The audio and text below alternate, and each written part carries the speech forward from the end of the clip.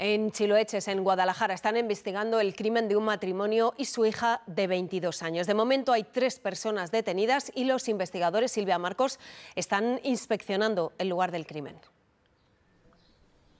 Sí, el grupo de criminalística, buenas tardes, continúa trabajando, lo lleva haciendo toda la mañana en el interior de la vivienda, intentando buscar alguna prueba para esclarecer qué pudo ocurrir en la noche de los hechos. En este momento, como decimos, continúan trabajando. Sí que sabemos que dos de los tres detenidos han salido de la comandancia de la Guardia Civil de Guadalajara para seguir con las diligencias eh, policiales. Lo que sí sabemos, lo que sí han confirmado, a pesar de ese secreto de sumario, es que se han detenido a tres personas, dos varones y una mujer, que estarían relacionadas directamente con el entorno de la víctima. Para esta tarde, en la localidad, en esta organización de la localidad de Chiloeches, se ha organizado un minuto de silencio para hacer un homenaje a esas víctimas.